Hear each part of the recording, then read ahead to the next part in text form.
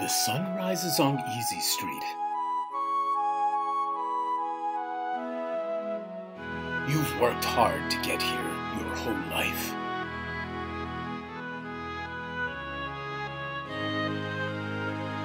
All worries and financial concerns are no longer troubling you. What nonsense is this?